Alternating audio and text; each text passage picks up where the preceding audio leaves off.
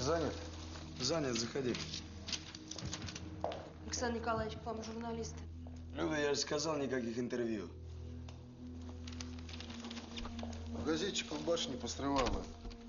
Ночь длинных ножей, демократия в опасности, война кандидатов. По делу есть что-нибудь? Вроде нет. А что по Максу? Короче, кроме наших, считай, полгорода шустрит. Пока ни слуха, ни духа. Люди считают, его тоже исполнили. Работаете, я видел его машину. Значит, там был кто-нибудь? Саш, тут вот еще какое дело. Я сегодня виделся с, с Колей Большим, Тариелом, Воркутой и Алмазом. Они хотели с тобой встретиться.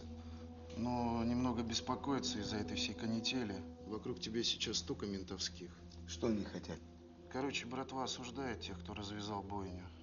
И обещает помочь найти гадов. Я понял, что они хотят. Ну, в общем, люди просят тебя не включать ответку. Всем и так сейчас трудно.